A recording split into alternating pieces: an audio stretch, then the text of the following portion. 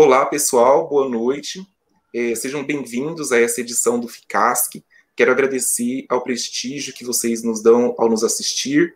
Esse será o momento em que nós iremos conversar aqui sobre o, como se dá o combate, o enfrentamento ao fogo, que vem causando tantos problemas no, no, neste ano de 2020. A gente, em nome do FICASC, agradece aos nossos patrocinadores, a TGS Spectrum e a GTS do Brasil. Eu agradeço a todo o público nos assistindo e também os participantes. Meu nome é Bruno Henrique, eu sou professor de Biologia, faço doutorado em Ecologia e Conservação pelo FMS e participo de um projeto chamado Projeto Nolê. É, Nolê significa fogo no idioma Caduel, é uma etnia indígena lá em Mato Grosso do Sul, né? Essa etnia vive na maior terra indígena do estado de Mato Grosso do Sul e os habitantes dessa terra indígena atuam também como brigadistas, né, junto ao Ibama Preve Fogo, na terra indígena onde vivem e também em outras partes do Pantanal que vem sofrendo com o fogo, tá? Passo a palavra para os outros convidados que vão interagir com a gente aqui nessa live de hoje, que também atuam na linha de frente contra o fogo, para que se apresentem e falem um pouquinho sobre o seu trabalho, tá? Estamos aqui com a Carla. Carla, quiser se apresentar? É, boa noite a todos, né? Primeiro agradecer o convite para que o GRADE, né, o Grupo de Resgate de Animais em Desastres, é, estivesse presente com vocês aqui hoje. Tá? Eu sou médica veterinária e bombeira civil. O GRADE já tem, faz agora em janeiro, 10 anos de atuação aí no Brasil em desastres, né? Focado no resgate de animais e numa resposta rápida, né? A tudo que envolve a questão animal, seja animal silvestre, seja animal é, de é, produção, pets, né, cães e gatos, é, qualquer situação né, que envolva é, os animais em desastres.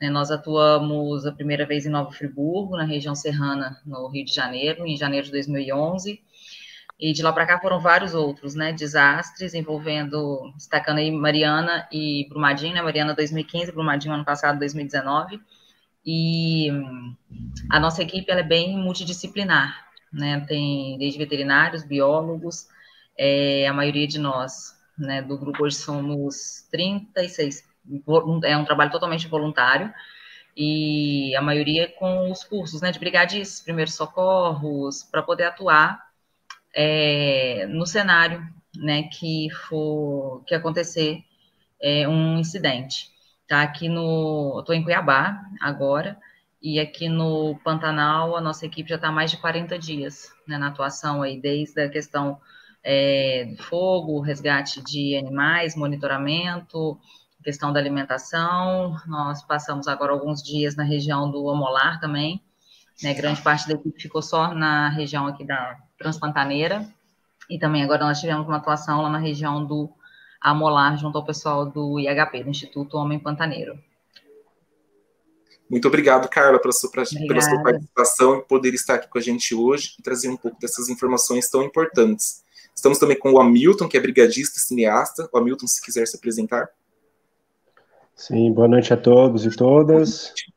Eu falo aqui de Alto Paraíso, de Goiás, da Chapada dos Veadeiros. Eu sou atualmente coordenador de comunicação da Rede Contrafogo, que é uma instituição que nasceu em 2017 como uma resposta da sociedade civil, né, frente ao mega incêndio que ocorreu. É, foi, na época foi mais de 100 mil hectares queimados, infelizmente, num período de escassez hídrica muito grande, algo muito parecido com o que o Pantanal está vivendo agora, né? Os índices hídricos assim, muito baixos, umidade relativa do ar baixíssima, e naquele momento surgiu essa iniciativa de, como uma espécie de um movimento popular, mesmo a sociedade civil quis apoiar os combates que estavam acontecendo, né? No começo da, das queimadas, dos incêndios, existia um pouco, pouco contingente, né? Até ser acionados os outros reforços, né? Até o incêndio chegar a nível 3, que é o nível de atuação federal, é, o fogo se alastrou bastante e chegou a ter 200 a 250 voluntários em combate, mais de 200 pessoas apoiando, né, com apoio, logística, alimentação. Isso nos fortaleceu, né, fizemos uma, uma campanha de crowdfunding, que possibilitou na primeira meta captação de recursos para 10 dias de combate, né, com recursos de gasolina, alimentação e equipamentos de combate, e uma segunda meta que é, de comum acordo com a sociedade naquele momento, a gente viu a necessidade de criar brigadas voluntárias setoriais. Né? Então, hoje em dia, aqui na região, nós temos cerca de 120 voluntários, brigadistas, distribuídos em todo o território, é, principalmente em Cavalcante, é, São Jorge e Alto Paraíso, porém algumas outras cidades também estão demonstrando interesse, né, Colinas do Sul, uma cidade que não tem a, a atuação do Preve Fogo, infelizmente, nós damos apoio, São João da Aliança. E é isso, seguimos aqui na linha de frente, como vocês podem ver, está um pouco queimado, peguei um incêndio que foi de dia, e era um lugar de super risco, de extremo risco para entrar no Parque Nacional, tivemos que entrar no período da manhã, por volta de meio-dia, e aí peguei um pouco de radiação, estou com essa marca, e estou aqui para compartilhar nossas experiências, né, o que puder. Muito obrigado pela participação, Hamilton. Seja bem-vindo, viu? Essa edição do é. Eficácia, as terças ambientais, a terça ambiental que está começando agora, um novo programa, né, nessa segunda etapa. E a gente também vai conversar um pouquinho com o Roger, que também atua como brigadista, né, e é condutor de turismo, inclusive. Roger, se quiser se apresentar. Boa noite, galera. Boa noite, então, boa noite a então, todos. Quero é, agradecer o convite também, né, para estar aqui compartilhando, né, essas informações aqui com todo mundo. É, eu estou aqui no Vale do Capão, na Chapada Diamantina, né, município de Palmeiras. Eu faço parte da Associação de Guias do Vale do Capão. Né, a gente tem a Brigada Voluntária do Vale do Capão, que é uma extensão né, da Associação de Guias. A gente atua aqui na, na região da Chapada Diamantina já há 20 anos, mais ou menos, né? A brigada foi criada em, no ano 2000. De lá para cá, é, a gente teve né, participação aí em alguns dos grandes incêndios que teve durante esses 20 anos, né? Em destaque aqui no ano de 2008, né, que chegou a queimar quase metade do parque, e também no ano de 2015 para 2016, né? Teve também um, um super incêndio, né? Muito grande e também né, a gente teve atuando nele aí conjunto com as outras brigadas. É, e é isso. Né? A gente. Muito obrigado. A gente trabalha também com. A gente trabalha também com é, resgate né, de pessoas em ambientes remotos. Né? A Associação de Guias, ela trabalha também com educação ambiental, manejo e manutenção de trilhas, resgate de animais silvestres, né? E é isso. Muito bacana a atuação de vocês. É, essa oportunidade está sendo muito incrível, porque nós quatro aqui é, atendemos em linhas relativamente diferentes, mas com um objetivo comum, que é o, o combate ao fogo. E outro ponto interessante é que nós estamos em regiões diferentes do Brasil, né? Eu faço o meu doutorado em Campo Grande, Mato Grosso do Sul, e agora, por conta da, da pandemia, eu voltei para minha casa, estou no estado de São Paulo. Também é, ocorrem eventos de incêndio aqui na minha região, mas de forma, de um modo geral, é proposital e criminoso, né? Incêndios em canaviais, em pastagens, que também causam danos, né? E, pre, e trazem prejuízo.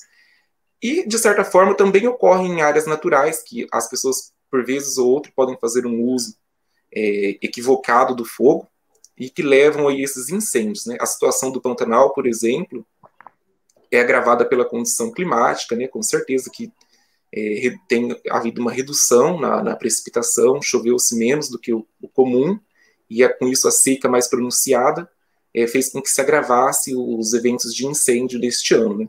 E de modo geral, essas, é, essas ações do homem podem, então, aí agravar esses eventos de, de fogo, mesmo que de causa natural em algumas áreas. Né? É, de modo geral, eu vi que todos vocês têm atuação no bioma cerrado, que é um bioma historicamente ligado ao fogo. Né? O fogo no, no cerrado, é, em uma vista, é, a primeiro olhar, assim, pode-se dizer que seria um fenômeno normal. É, vocês poderiam falar um pouquinho a respeito disso, se é normal a ocorrência do fogo, ou a partir de qual momento ele deixa de ser normal, para fins de, de, prevenção e educação ambiental. É, a Carla, se quiser é, comentar, começar. É, a nossa região, em Minas, né, a maioria da equipe do GRADE é de Minas Gerais e da região, eu sou de Lafayette, né, Conselheiro Lafayette, e é uma região que tem alguns parques, né, desde BH até lá em Ouro Branco, e que todos os anos, né, sofre muito com as queimadas, tá? E a gente tem muita dificuldade para trabalhar com resgate de animais em incêndio. Eu acho que do tipo de desastre é o mais difícil que a gente atua e é o que a gente menos consegue realmente é, resgatar animais, fazer um trabalho realmente efetivo de resgate de vítimas diretas né, do fogo. Em 2017, nós estivemos na Chapada dos Veadeiros, também em 2017 no parque na Serra de Ouro Branco. Esse ano também a gente teve equipe lá na, em, na Chapada Diamantina, também em Minas Gerais. E essa questão do fogo, né, na maioria das vezes criminoso e sem controle, nesse tipo de bioma, é, ele dificulta muito um bom resultado né, do trabalho dos animais aí vítimas do, diretas né, do fogo. No pós-incêndio, a gente passa pelo período aí de fome cinzenta, que é onde os animais perdem todas as fontes de alimentação e muitas vezes de água também. E aí que acontecem a maioria dos resgates, né, que são animais é, desnutridos, animais é, desidratados, já no estágio assim avançado, né, de caquexia mesmo, causado pelo é, pós-fogo, né, da destruição aí de toda forma de alimentar. E o cerrado, ele já é um bioma é, com mais escassez né, alimentar por suas características. E quando vem o um incêndio né, em grandes proporções, isso prejudica muito é, a fauna. Né? É um bioma é, muito sensível, né, que demora também a se, se reestruturar, apesar de né, a natureza ser muito resiliente, mas a dificuldade do bioma na sua reestruturação é muito grande, principalmente pela tamanha intervenção humana né, que a gente tem aí hoje, não só no Cerrado, mas em todos os biomas aí no Brasil e no mundo. Certo. Ah, esse termo, inclusive, de zona cinzenta, eu não conhecia. A minha tese de doutorado, ela passa um pouco por isso, né? Na questão da, da regeneração, da, do retorno do, dos padrões fenológicos, da disponibilização de é. alimento para a fauna. Mas a esse termo... cinzenta. De, de, zona cinzenta, não tinha, não tinha conhecimento dele ainda. É fome. É como? Fome cinzenta. Fome cinzenta. Esse, Fome esse termo ele é, ele é bem difundido entre, a, entre os brigadistas ou é, uhum. a gente até agora está escrevendo um artigo né, sobre isso, porque a gente usa muito o termo, mas não tem publicação mesmo, assim, para que as pois pessoas é, então. como referência. A gente está finalizando ele agora. E, e, esse período, então, de fome cinzenta, ele naturalmente já ocorreria por conta do período de seca que esses biomas enfrentam e é agravado pelo fogo. Sim o pessoal quiser complementar a fala é, de como tem sido é, mais árduo, talvez, o trabalho por conta dessa intensificação climática, ou se houve um registro de aumento, por exemplo, na ação do homem em eventos de, de incêndio criminoso, coisas do tipo?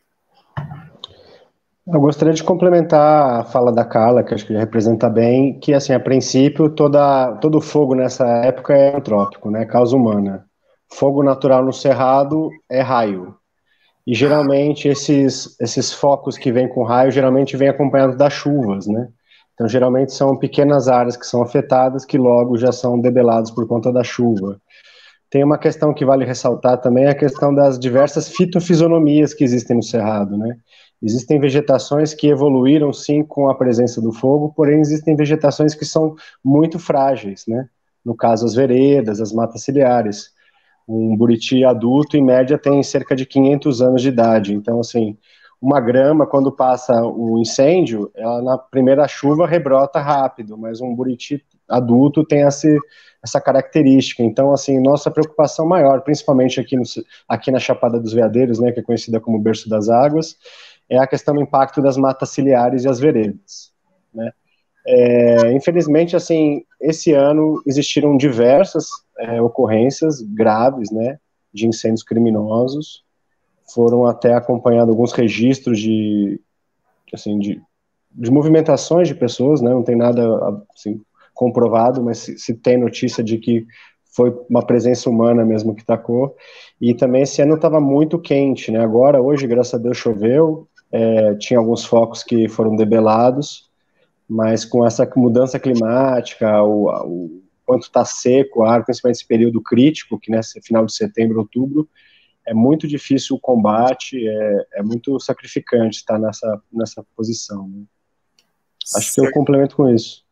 Eu, é, pegando um gancho aqui da sua fala, você disse, por exemplo, que nessa época de, de auge da seca, o fogo, na maioria das vezes, muito provavelmente, é de causa antrópica, que os, as causas naturais por origem de raios estaria mais ligada ao período chuvoso. É, a gente conhece alguns trabalhos de uso do fogo, queimas prescritas, né, como forma de manejo. É, você, e com o apoio do Roger, se puder é, complementar também, existe então, assim, uma melhor época ou uma época ideal para que se use o fogo como ferramenta de manejo para fins de prevenção? E por que dessa época? Se você puder falar, Roger, depois Com certeza, existe uma época, né, para fazer né, o manejo do material combustível, né, porque é, quanto mais prevenção você faz, né, quanto mais tempo uma área fica sem queimar, mais material combustível vai ter ali, né? Então, existe ali um, um acúmulo muito grande. Às vezes você pode passar 10 anos, né, prevenindo uma área de queimar e ali vai ter 10 anos de acúmulo de material combustível. Então, quando vier um fogo, vai ser praticamente impossível controlar.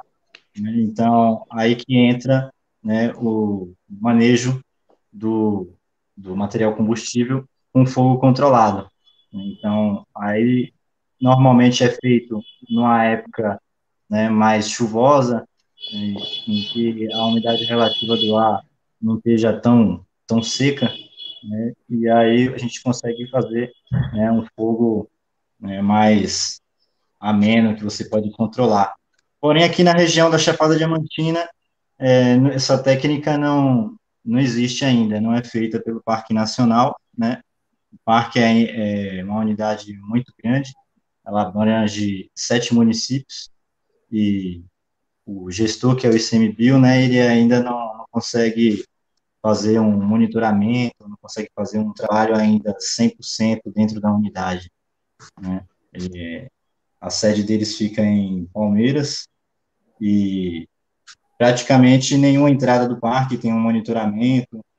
Eles fazem uma, um esquema de um esquema de mirantes, né, e aí quando tem um, um, foco, é acionado a brigada de combate contratada durante o período ciclo que vai fazer o combate. Mas ainda não é usado aqui o, o manejo do fogo, não. Certo, entendemos. É, então, pegando um outro gancho aqui da, na fala do. Posso complementar, Bruno? Pode sim, amigo. Queria, pode sim. queria compartilhar a experiência, né? É. Em 2017, nós fomos convidados a participar de um seminário internacional de MIF, né, que é Manejo Integrado do Fogo, que é certo. é essa perspectiva que o, que o Roger está falando. E esse trabalho começou no Brasil, até onde eu sei, lá no Tocantins, né, uma experiência em Tocantins, nessas áreas de cerrado. É, tem sim uma, como ele falou também, uma janela de queima adequada, né, em que a umidade relativa do ar está tá ainda relativamente alta, não, não, não se faz no período crítico, e aqui no Parque Nacional tem sido usado desde então. Está é, tá tendo alguma, é, diversas pesquisas científicas, né? A UNB tem um laboratório de ecologia do fogo que está estudando essa, criando esses parâmetros, né? Porque é uma coisa muito recente no Brasil. Eu acredito que deve ser uma política pública que deve ser encaminhada e valorizada, né? Desenvolvida no Brasil, porque por muito tempo que a gente sabe que os órgãos, principalmente o IBAMA, teve uma política de fogo zero. Né? Isso gerou um acúmulo de combustível em grandes áreas e depois isso se tornou um grande problema porque gerava megas incêndios. Então a ideia do manejo é fazer esse recorte, queimar em parcelas, queimar áreas específicas em é, é, janelas de, de, queima adequada, né? que o fogo é um fogo é, mais saudável, que chamam de fogo bom, né? porque também existe esse fenômeno da pirodiversidade, existem diversos tipos de fogo, né? Não é todo fogo que é ruim e não é todo fogo que é bom. E nós, como brigadistas, pelo menos aqui, a gente não vê assim, a gente não é contra fogo no sentido de ser contra incêndios. Contra incêndios, claro, mas contra o fogo, o uso do fogo, né? Eu acho que tem que ter um manejo, sim, né? Existem é, comunidades, principalmente ligadas ao pastoreio, que, que fazem tradicionalmente o uso do fogo, porém tem que ser feito de uma forma adequada, né? Tem que ter o acero, tem que ter acompanhamento de brigadistas, tem que ter feito né, dentro da, da legislação específica de cada estado. Então, acho que é importante aproximar, principalmente essas comunidades que fazem e têm necessidade do manejo de fogo, de forma a fazer integrado, né? Junto aos órgãos, de uma maneira controlada, né? Acho que acredito. Lá no, no, nosso experimento também tem sido assim, né? A gente atua junto com os indígenas Caduel e pretende se implantar o manejo integrado do fogo na terra indígena. É, dos trabalhos pilotos, né, do esforço que o IBAMA Preve Fogo já tem até o momento junto aos, aos Caduels, os resultados já têm sido relativamente bem positivos, com uma redução de frequência de, de, de fogo na maior parte da, do território. E você até comentou é, das, das, diferentes fisionomias né, que sofrem uhum. de formas, de maneiras diferentes com a presença do fogo. E aí você já introduziu o conceito de pirodiversidade. Como o manejo do fogo pode atuar frente a essa pirodiversidade? De que maneira? Diferentes mosaico, é, partes do mosaico na paisagem, eles sofrem é, diferentes ações por parte da, da, do manejo, atuação das brigadas? É, qual é a é. importância de se manter essa biodiversidade? É, você falou da questão dos mosaicos, eu acho que é uma questão importante, né? A distribuição desses, desse, desse, desse espaciamento em parcelas mesmo, então de forma que você consegue prevenir, você consegue direcionar, saber que existem áreas de contenção, né? É, realmente é comprovado já pela ciência, pelas pesquisas, que esse manejo, esse fogo, nesse período, ele é mais saudável, ele não danifica as plantas, né, de forma abruptas, então, assim, a floração continua preservada, as folhas não ressecam, então, um fogo mais rápido e que é menos calórico, né, os incêndios, geralmente, nesse período crítico, eles devastam a vegetação, né, você vê assim os registros na natureza, as plantas estão totalmente esturricadas e muitas não conseguem rebrotar, principalmente alguns tipos de árvore e tal. Então, acredito que é, é, tem que ser desenvolvido isso em nível nacional, né, criar uma política de manejo.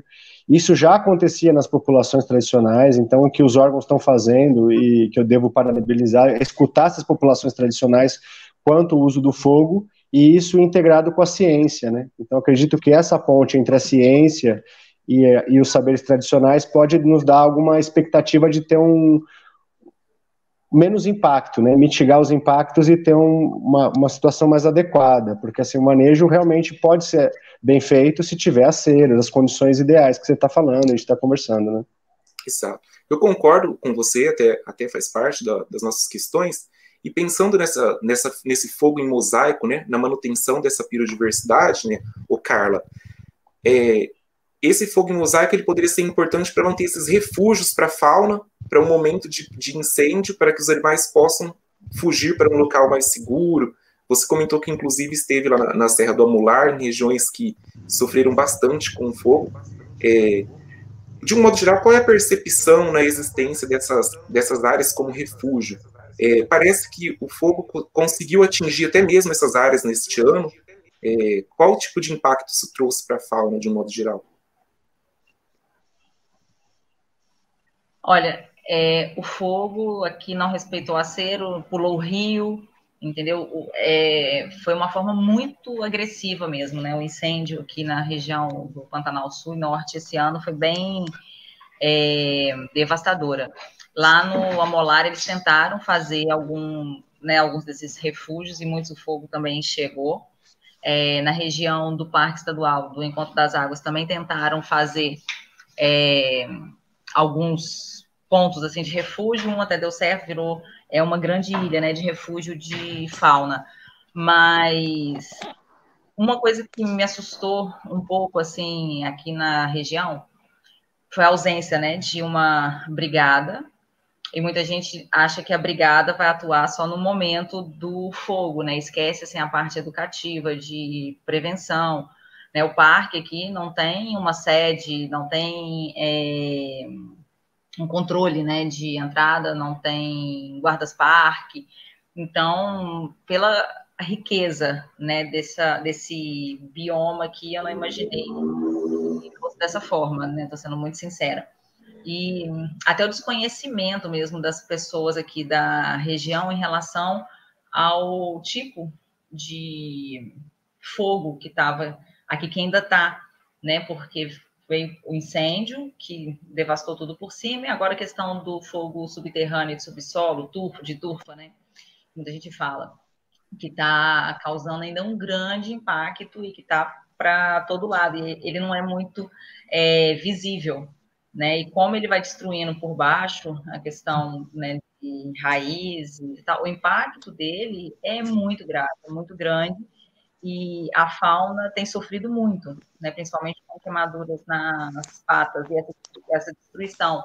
Nesse nível, além de tirar o alimento né, dos animais faz com que a fauna demore muito mais para se restabelecer. O exemplo que ele deu aí do, acho que do jatobazinho, né, que fala, falou da questão das gramíneas e de grandes árvores de, de 50 anos. É muito difícil, sabe? É, não dá para a gente prever também como que vai ser a reestruturação dessa flora aqui e dessa fauna, mas a questão da importância da brigada na prevenção, na educação da população local foi algo que eu senti muito a falta é, aqui na região. É, até comentando essa questão da brigada que você colocou, a Serra do Amolar é uma região relativamente remota, né, de difícil acesso, e hoje diversas outras áreas e regiões do país também possam passar por esse problema. Se os, o Roger e o e o Hamilton puder esclarecer para a gente ou dar, trazer algumas informações de quanto o trabalho das brigadas pode ser dificultado por questões logísticas, de acesso ou falta de veículos, é, o quanto isso é, prejudica a maior efic eficácia do combate aos incêndios nessas regiões que são mais remotas. Vocês poderiam comentar um pouquinho sobre isso? Com certeza. Então, a, a atuação da brigada, das brigadas voluntárias principalmente, ela é essencial para a prevenção dos grandes incêndios, porque os grandes incêndios eles começam como pequenos incêndios, porque eles não têm uma resposta eficaz, né, eficiente e rápida no início. E isso é essencial, né?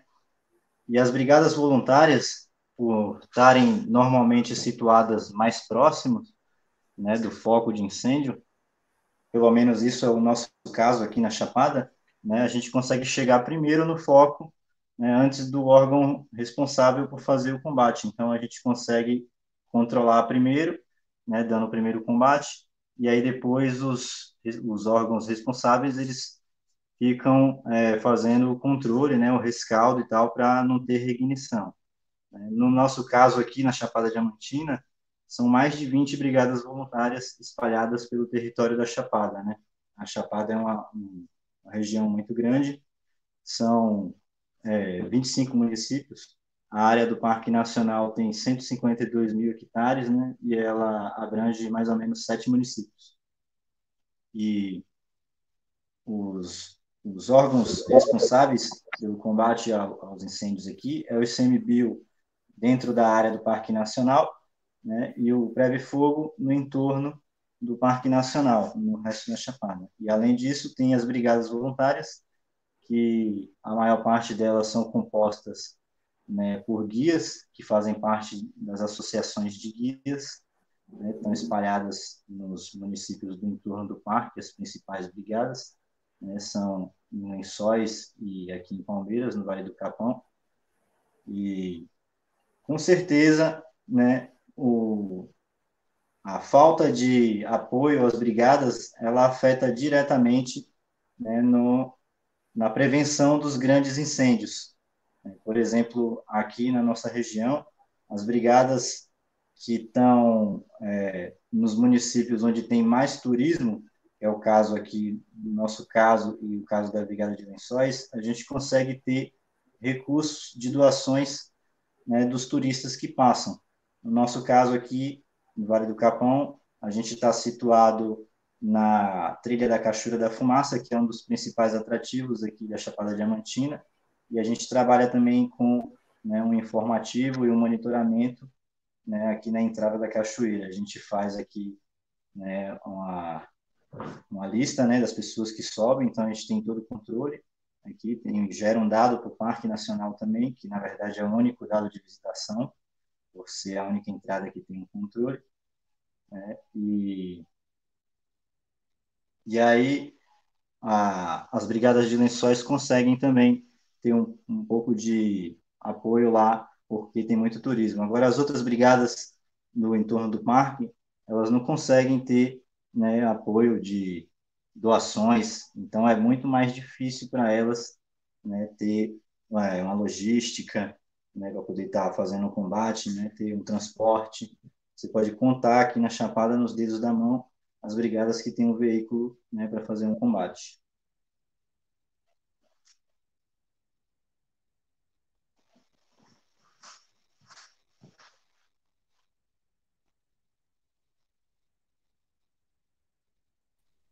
Hamilton, se quiser complementar, fala dele. É, a logística é, dificulta, às vezes, vai.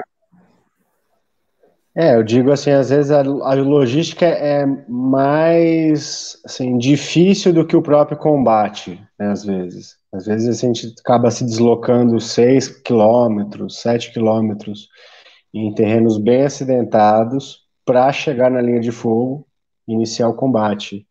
Então, nesses períodos críticos, principalmente questão climática, né, de dia, por exemplo, você imagina que é caminhar 7 quilômetros, 6 quilômetros com equipamento, fazer um combate e retornar. Então, assim, a, a, logística é uma questão, assim, super delicada e, e, assim, a gente vê como faz falta, por exemplo, uma ferramenta como um helicóptero. Às vezes, ah, tem a disponibilidade em nível 3 de aeronaves, ajuda, ajuda. Mas, por exemplo, esse ano não teve, demorou muito ter um helicóptero. Então, por exemplo, o helicóptero poderia colocar esse pessoal é, na, na, cabeça do fogo de uma maneira descansada, sem esse pessoal ter que deslocar 7 quilômetros. Então, existe essa questão dos incêndios florestais, que é a pronta resposta, né? Quanto mais rápido é, se inicia uma estratégia de combate, se, se atua nisso, minimiza os impactos. Aqui a gente trabalha assim totalmente ligado aos órgãos, né? Também temos essa questão, o ICMBio cuida da área do Parque Nacional, que hoje em dia é 244 mil hectares, coisa assim, e o entorno é, é o Preve Fogo que, que apoia. E quando o nível do incêndio aumenta, quando assim as ocorrências estão assim, mais graves, o Corpo de Bombeiros de Goiás nos dá apoio, porém vem de Planaltina, que é um tanto afastado daqui. Então, assim, as brigadas voluntárias têm feito a diferença. Esse ano a gente entrou em mais de 30 combates, inclusive em outros municípios, cerca até de 100 quilômetros aqui a gente precisa deslocar para poder atuar, porque entendemos essa necessidade da pronta resposta, entendemos que assim quanto antes é, se dá um combate é mais efetivo, e mesmo assim com tantos voluntários, nós não temos nenhuma viatura própria ainda, né? É, usamos os carros dos voluntários quando é possível, é uma logística própria. Nos organizamos aqui através de alguns grupos, né, utilizamos ferramentas como o WhatsApp, então, tem um grupo geral, que é um grupo aberto à população, que serve de monitoramento, né? A população, nesses períodos, alerta sobre focos que podem ocorrer. E existem outros grupos ligados aos chefes de brigada, tanto das brigadas voluntárias quanto aos órgãos. Então, toda a APA aqui do Pouso Alto, toda a região está conectada, né, os chefes de brigada, as pessoas responsáveis por isso estão conectadas. E a partir disso tem um plano operativo anual também que a gente participa, né? Então, todo ano a gente faz um planejamento sobre essa questão das ocorrências, qual a responsabilidade de quem, né? Então, a gente vem de apoio aos órgãos. Se os órgãos pedem para a gente fazer o combate, né, por conta de uma necessidade, falta de contingente em uma área, a gente atua, mas geralmente está sempre alinhado, né? O órgão, principalmente no entorno aqui, o Prévio Fogo, então está sempre em comunicação, e isso ajuda muito, né, porque às vezes fala, pô, o pessoal vai ter que deslocar alguns quilômetros para pegar outro flanco, ou a cabeça do fogo, e esse pessoal aqui, voluntário, pode trabalhar em outra frente, e, e, é isso, e às vezes a questão do deslocamento na mata é muito difícil, né, esse ano a gente entrou numa mata, assim, muito fechada, e era muito, muito difícil o combate, para você acessar o fogo, era já um, era um tanto perigoso, difícil, muito espinho, né? Mas isso depende muito das fitofisionomias, né? Aqui a gente tem uma região montanhosa, é sempre delicado, assim, nunca é, nunca é fácil, mas tem lugares, geografias que são muito mais é, difíceis de acesso, principalmente.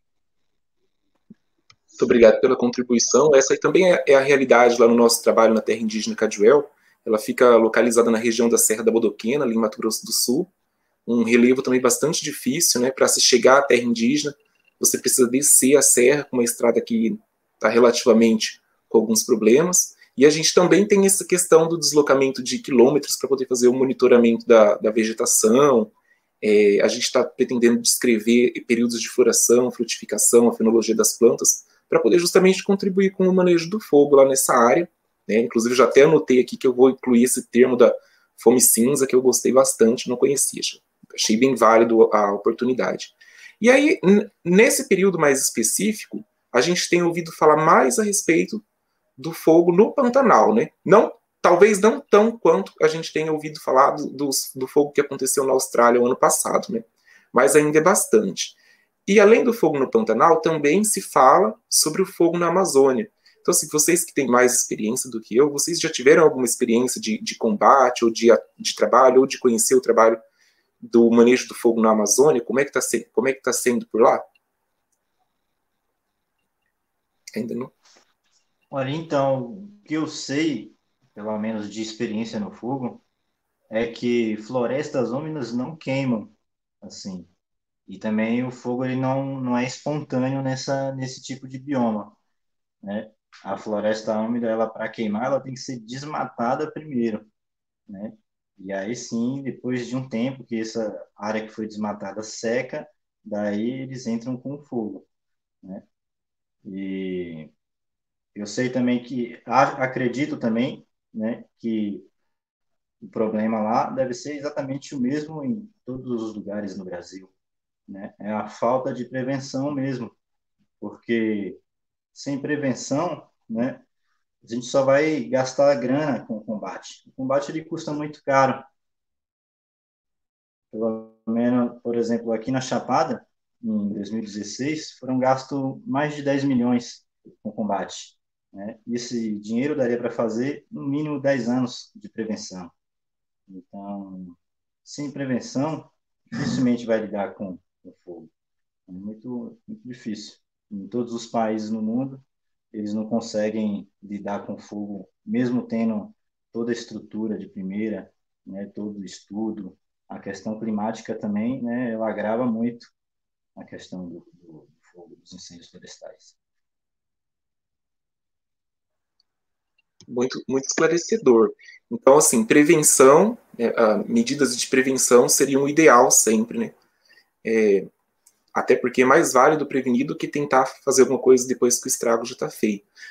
Aí você, é, a gente poderia falar um pouquinho, assim, porque o, às vezes o pessoal tem até comentado sobre isso, essa questão do desmatamento na Amazônia e alguma alteração que esse desmatamento possa estar tá causando no microclima da região de modo geral, pode ser um dos responsáveis pelo agravamento do fogo ou do, ou do período de seca no, em outras regiões, como é o caso do Pantanal? Vocês acreditam nisso também?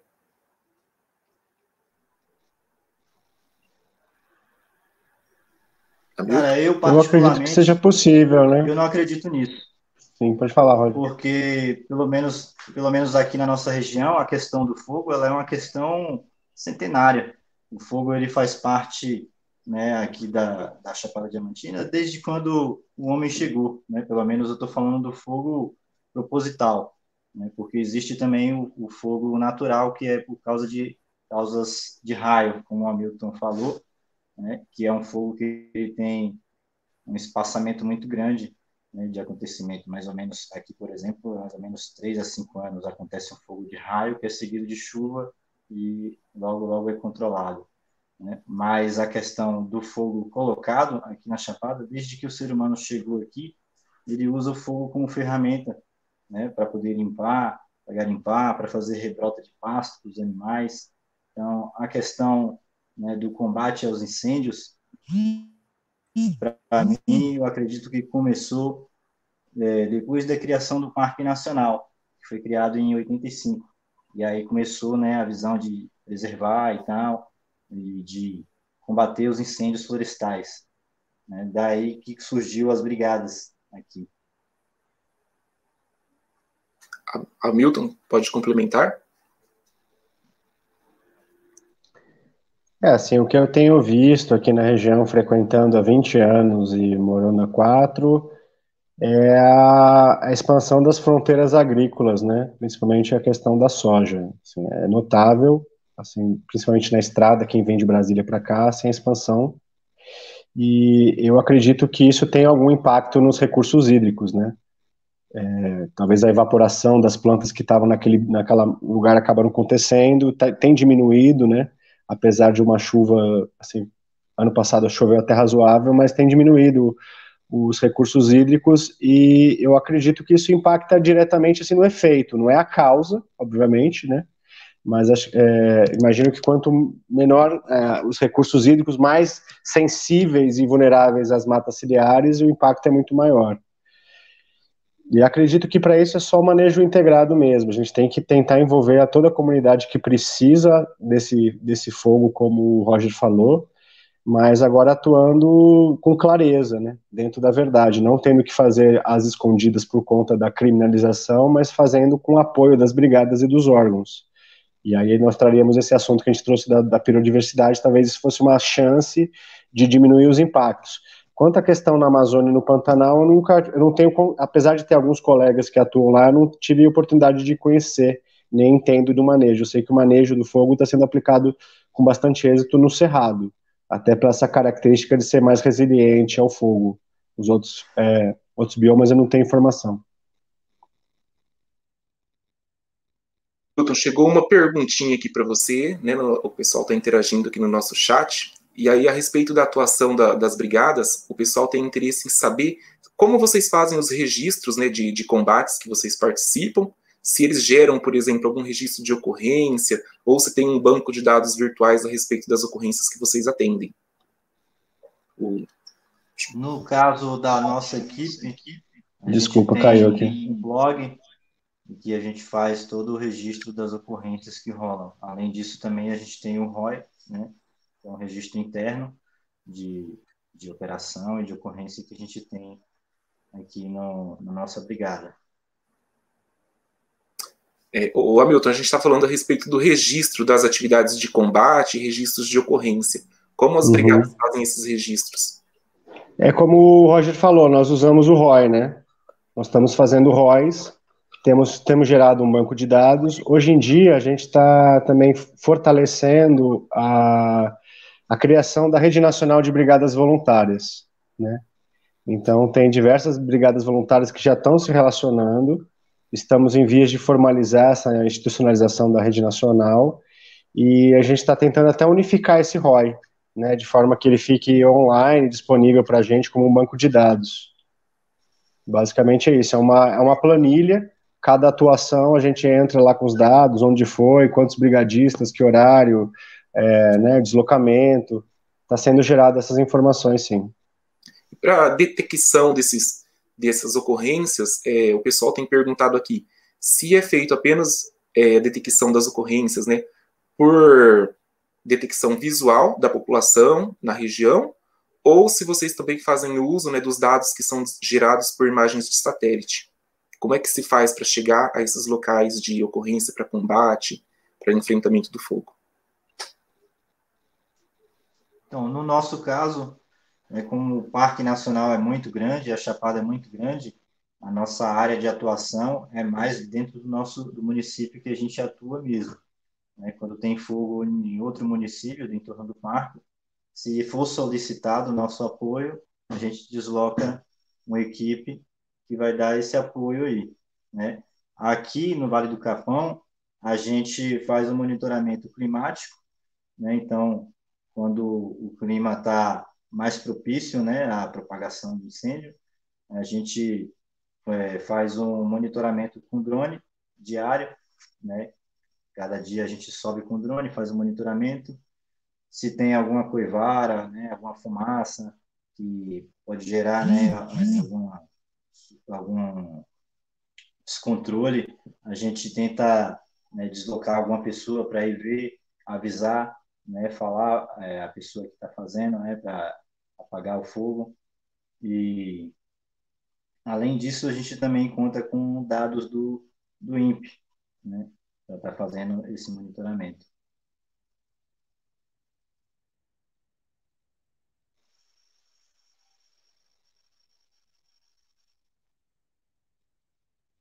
Hamilton pode complementar como é feito aí também?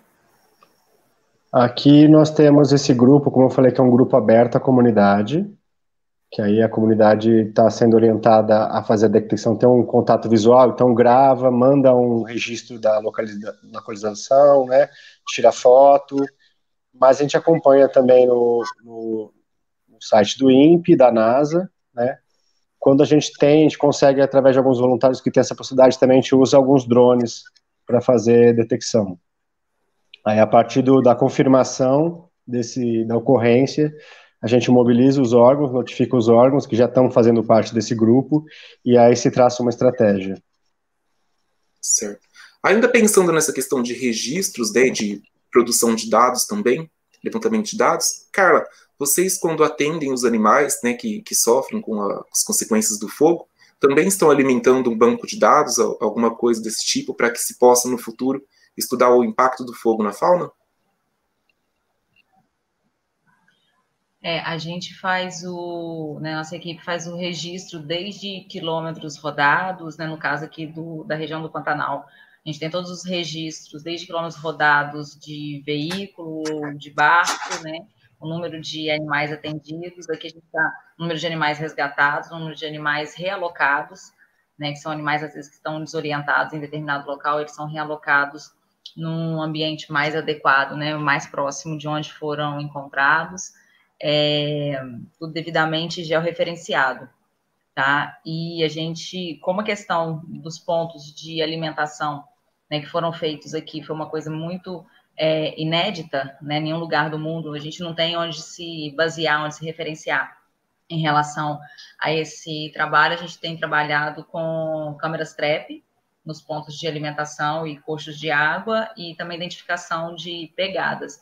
Então, por exemplo, em uma câmera trap colocada no parque, a gente, em uma só, mais de 30 é, espécies, né, entre aves, répteis e mamíferos, foram identificadas é, se alimentando, né, sendo beneficiadas desse, dessa alimentação é, artificial. Tá? Então, a gente já, esse levantamento né, do trabalho aqui no Pantanal já está em fase de análise para que a gente possa produzir dados aí também. A gente também trabalha com drone, né? São várias formas de identificação, mas o forte aqui no Pantanal, é, para ver, né, como eu disse, é uma ação inédita no mundo, é, principalmente com, em relação a câmeras trap e pegadas. A gente também fez lançamento de alimentos em algumas regiões do parque, junto em parceria com a Marinha, uma ação inédita também. A gente só tinha o exemplo da Austrália, que fez algum tempo atrás lançamento de cenouras em áreas é, que tinha muito canguru, e aqui no Brasil a gente ainda não tinha feito né, uma ação nessa proporção, em cada viagem era quase meia tonelada de alimentos, mas é uma ação muito difícil de se avaliar é, o efeito, né, positivo ou negativo, se não, não houve efeito. É, a gente já referenciou os pontos de água 20 quilômetros, por exemplo, para dentro da Transpantaneira e dividiu isso aí em quadrantes, para a gente ver onde seria mais efetiva essa ação. E fez, né, foi feito o lançamento em alguns desses pontos, porque a fauna tende a se refugiar próximo de onde tem água. Né? E assim, são poucos os pontos né, que a gente conseguiu encontrar de boas fontes de água é, para a fauna, mas com o lançamento a gente não conseguiu identificar né, quais as, as espécies foram beneficiadas, até porque o lançamento estava muito complicado é, devido à dificuldade de aproximação do solo, né, da aeronave, porque subia é, muitas cinzas, né, aquela poeira preta, quando a aeronave aproximava do solo. Então, a gente tem catalogado também todos os alimentos que foram utilizados, o que, que foi é, mais consumido para os animais, para a gente poder estar tá fazendo né, um registro disso aí, gerando é, dados científicos mesmo, para que numa aproximação que a gente não quer que aconteça, mas se acontecer, a gente né, já tenha como realmente é, as pessoas serem orientadas né, para não cometer os mesmos erros que foram cometidos na ação é, daqui, né? Após estudos que a gente vai ver o que, que foi de erro e acerto. A gente conseguiu colocar uma câmera trap, por exemplo, dentro do Parque Estadual, né, o Encontro das Águas. Né, a gente desceu de helicóptero, fez ponto de alimentação bem no meio mesmo, ali no seio mesmo do parque uma área que deveria ser totalmente preservada. E aí né, essa câmera ficou lá muito tempo, e nas imagens da câmera a gente vê diversos animais da fauna, né, principalmente aves, se beneficiando daqueles alimentos. Mas no terceiro ou quarto dia de alimentos lá, é, apareceu o gado, e os animais que estavam ali se alimentando foram totalmente é, espantados e o gado fez o consumo de todo o alimento que a gente colocou ali no coração mesmo do parque. Então é o, outra situação que a gente percebeu aqui no Pantanal, que além do fogo, da fome, da sede, né, o gado tem disputado esse alimento também. Não é culpa do animal, né, ele deveria estar em um local é, cercado, mas ao longo da Transpantaneira também muito gado, né, disputando alimento com os animais silvestres. É, a gente tem visto nas redes sociais é, algumas pessoas né, se mobilizando para tentar ajudar, né, porque isso sensibiliza a gente.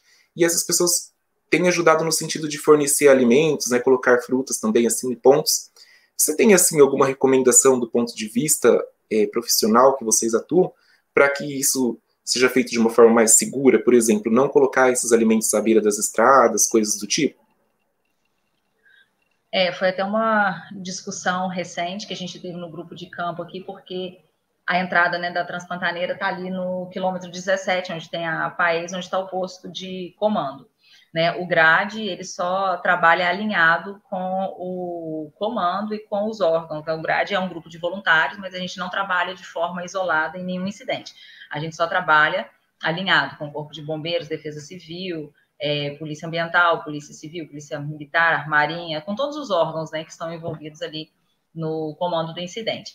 E algumas vezes, né, pelo trânsito grande de pessoas, essa orientação falhou. Então, a gente tem registros, por exemplo, de famílias que foram é, ajudar né, nessa alimentação, principalmente final de semana. Final de semana aparece muito né, voluntários. Se essas pessoas não forem bem orientadas, elas podem acabar sendo vítimas reais naquele incidente.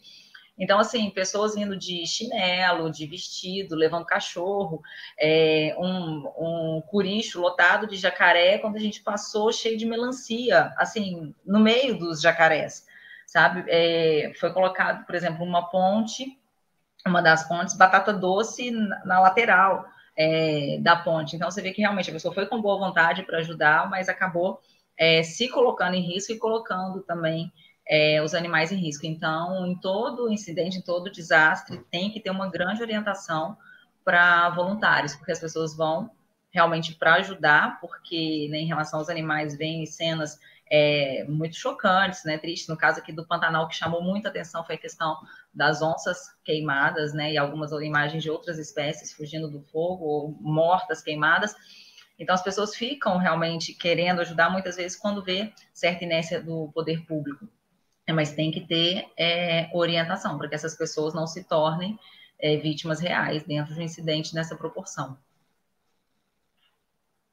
Ainda nesse sentido de acidente, né, o pessoal da brigada aqui, o Roger Hamilton, talvez vocês possam até dar algumas, alguns esclarecimentos a respeito do, da questão de treinamento, da capacitação de vocês, porque aqui, por exemplo, na minha região onde eu vivo, no interior de São Paulo, tem registros de ocorrência de fogo, às vezes em fazendas, né, em propriedades particulares, né, canavial ou em pastagem, e aí, ou os funcionários da fazenda, ou os próprios proprietários, é, a intenção de, de, de, combater, de tentar salvar ou recuperar alguma coisa que está ameaçada ali. E aí teve, por exemplo, ocorrência de funcionário de fazenda que se dirigiu com um trator até o local do incêndio, de repente o vento fez com que as chamas se alastrassem, né? O veículo o trator, no caso, parou de funcionar e essa pessoa acabou morrendo no, no meio do fogo. Então, assim, será que vocês poderiam comentar um pouquinho a respeito de como é o treinamento, o que, o que a brigada tem é, que é importante para que esse serviço seja feito exclusivamente por pessoas profissionais que entendam do assunto? Se o Milton quiser começar.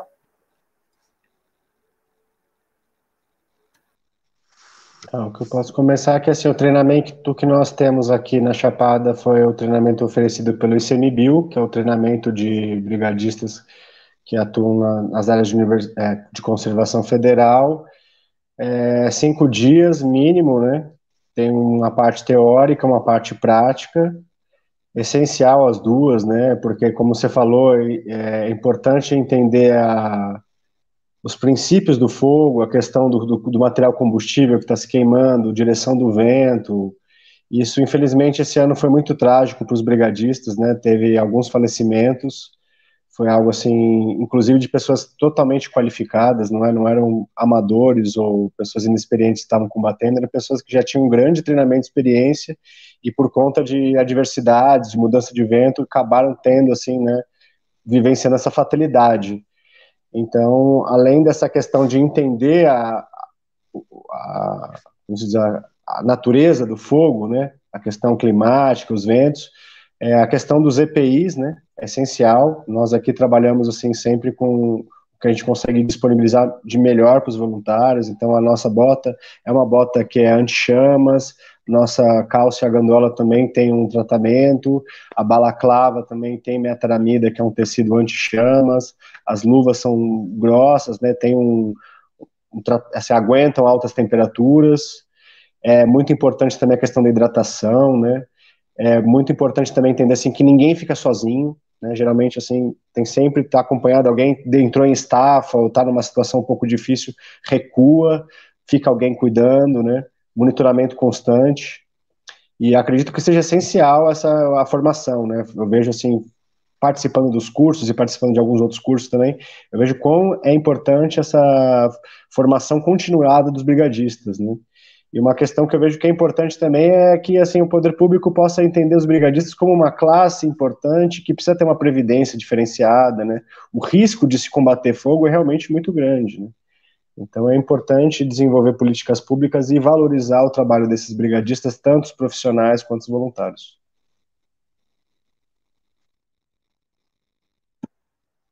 Acho que a questão é exatamente essa mesmo. O trabalho já é um trabalho em si que, é, que tem seus riscos, né?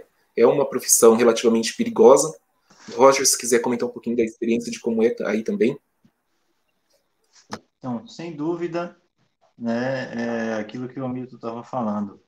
Né, se não tem um preparo, se não tem um curso, se não tem um, EPI né, eficiente, é, provavelmente vai dar errado. Né? O curso que a gente tem aqui de combate a incêndio florestal é o que é cedido pelo ICMBio também, que na verdade é um curso que é padronizado no Brasil, né? Ele é o mesmo curso dado pelo ICMBio, pelo Corpo de Bombeiros, né? E pelo Preve Fogo, ele tem mais ou menos o mesmo padrão de curso, né? O que é muito ruim, que o Brasil é um país gigante, né? Um continente, cada área de atuação, né? Das brigadas, tanto voluntárias quanto contratadas, né? é diferente, né? Você vai ver uma brigada que está combatendo no Pantanal, né? Às vezes ela precisa até de um barco para se deslocar, né, para o fogo. As áreas né, de fuga podem estar, tá, é, você pode estar tá ilhado no lugar, né, não conseguir fugir. E tipo aqui na Chapada é completamente diferente, né? E em cada lugar tem a sua particularidade. Então, aqui a gente já está correndo atrás de desenvolver o nosso manual né, de formação de brigada é, pessoal mesmo aqui, né, entende? E eu acredito que é, futuramente, né, com a organização das brigadas, é, isso daí também aconteça no resto do país. E a questão né, do EPI também é muito importante, né, porque é, custa muito caro, custa muito caro o EPI. Muitas vezes os funcionários de fazenda né, no, mesmo tendo uma ocorrência de fogo na área de fazenda, né, os donos de fazenda não disponibiliza o funcionário um EPI né, apropriado, né, às vezes vai dar uma bota de borracha para o cara combater um incêndio, né, só faz mesmo agravar a coisa. Além de ter um incêndio para combater, você vai ter que resgatar uma vítima no meio do, da ocorrência.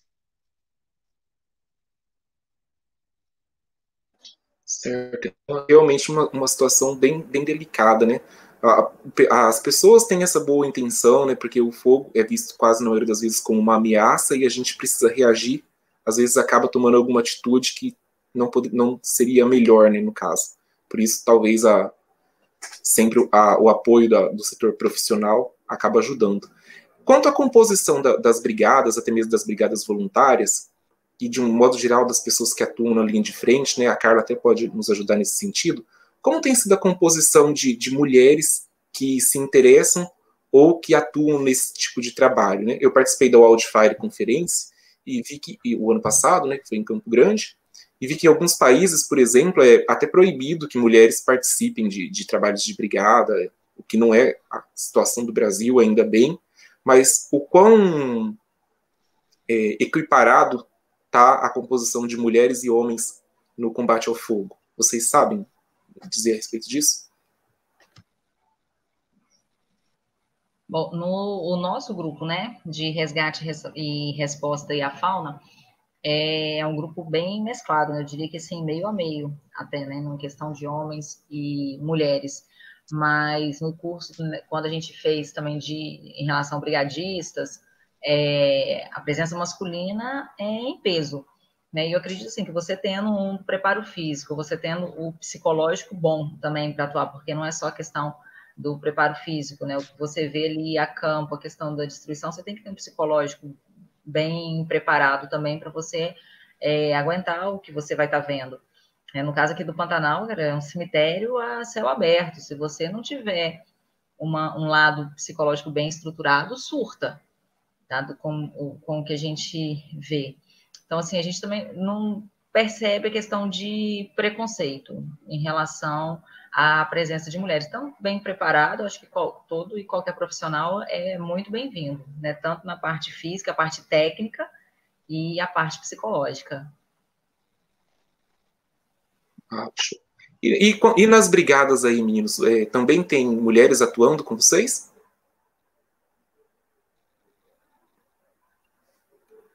Sim, aqui na nossa brigada a maioria são homens, né? É, no combate mesmo a gente não tem nenhuma mulher, mas eu já trabalhei em outras brigadas aqui na Chapada mesmo, trabalhei com outras brigadas aqui na Chapada que tinham algumas mulheres também na linha de frente do combate, né? Só que o combate ele não ele não é feito só de, de linha de frente, né? Tem vários setores, né? Que a brigada né? Precisa ter para poder estar tá atuando. Né? Você pode estar tá atuando, operando um rádio, você pode operar um, né, um carro, fazer um lanche, né, sentar no computador, fazer um projeto para arrecadar fundos. Então, são várias funções que tem na brigada, né, que podem ser ocupadas, né, por qualquer indivíduo, né, seja uma pessoa de mais idade, né, seja é, é, alguém que não, não pode ir para o combate, né? Mas, independente disso, né, a, é isso que a Carla falou, se a pessoa está preparada, né, tanto fisicamente quanto psicologicamente, né, as portas estão abertas, né, independente se da, da opção sexual da pessoa, né, se é homem ou mulher, né, é isso aí. Certo, correto. É, aqui na, na, Chapada dos Veadeiros nós temos algumas mulheres é, brigadistas de combate mesmo, assim, pessoal segue linha de frente, mas que, como a Carla falou, assim, que com um ótimo preparo físico e uma condição mental é, bacana, né? Porque tem essa questão, não é só você ter preparo físico, você tem que ter o conhecimento do uso das ferramentas, né? Habilidade de trabalhar em conjunto, e muitas vezes essa questão do psicológico entra muito, né? A questão da superação, às vezes está numa situação delicada, você tem que recuar ou avançar. Então, assim, a gente tem algumas, o ambiente é basicamente masculino, mas também esse ano aqui no Parque Nacional nós vimos a presença de algumas brigadistas profissionais contratadas, servidoras tem, temporárias, e é um pessoal muito legal, assim, é muito bom trabalhar nesse, né, né com essa atmosfera, e, claro, existem diversas outras atividades que tanto homens e mulheres atuam, como o Roger falou, né? É, não é só a linha de frente que faz o combate, assim, é a união dessas forças, né? Logística, transporte, comunicação, é uma série de, de campos de atuação que qualquer pessoa pode atuar e participar né, dentro desses Excelente critérios. colocação essa de, de vocês, de lembrar aqui do, das, dos outros setores que também contribuem para o manejo e combate do fogo, né? essa visibilidade, porque geralmente a gente só pensa naquilo que a gente está vendo ali, que é a ocorrência de fogo em si, nas pessoas que estão lá diretamente apagando, e acaba se esquecendo de todo um corpo, de todo um setor que está por, por trás, auxiliando e contribuindo para que aquele trabalho dê certo. E aí você até comentou a respeito do preparo físico, né, das condições de saúde, saúde mental, e isso relacionado à periculosidade do trabalho. Vocês que estão atuando mais diretamente, poderiam dizer para a gente quais são, por exemplo, os principais problemas de saúde que têm acometido o pessoal que atua é, no combate do fogo e como o setor de saúde tem lidado com isso, qual é o tipo de apoio que vocês recebem para esses prejuízos que acabam ficando para o resto da vida, né? Às vezes de, de ordem respiratória ou coisas do tipo. É, muita gente liga a questão do combate ao fogo, principalmente a desordens aí do sistema respiratório, né? Mas a gente é, vê muitos problemas também né, nos olhos, porque a sensibilidade é muito grande. É, nossa equipe aqui na primeira semana, mesmo não estando né, ali na linha de frente do fogo, mas só de estar próximo, né, todo mundo o tempo inteiro usando é, medicamentos, até para lubrificar, a irritação é muito grande né, a questão, lógico, do sistema respiratório, irritação de mucosas, e eu imagino a dificuldade, no caso deles aí, que estão sempre na linha, né, na frente mesmo, nem sei se tem é, estudos disso, é até um assunto que me interessa mesmo, assim, de entender mais, né, o pós, se tem algum tipo de acompanhamento, algum tipo de é, procedimentos já padrão, assim, para se fazer, né, depois de um combate, um grande combate dias aí na linha de frente.